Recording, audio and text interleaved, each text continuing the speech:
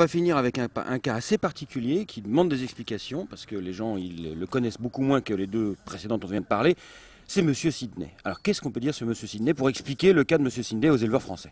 Écoutez, Monsieur Sidney, c'est un cheval excessivement bien né. Il charrie euh, les, les, plus grands courants de sang euh, américains et mondiaux, euh, comme euh, Mr. Prospector et puis Indy et Stormcat. C'est assez exceptionnel.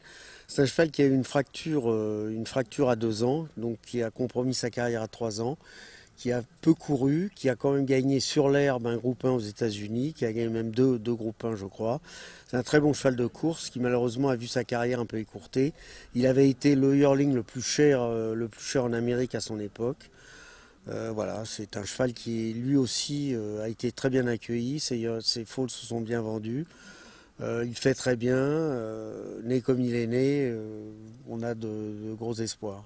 Alors c'est une question, j'ai pas la réponse. Vous en avez à l'entraînement déjà des Monsieur Sidney? Vous en attendez, vous en attendez peut-être? Oui, absolument. J'ai un cheval, euh, le frère de Silver Pond, vous savez, ce cheval qui était qui nous, qui nous appartenait, qui appartenait au rat du Kenney.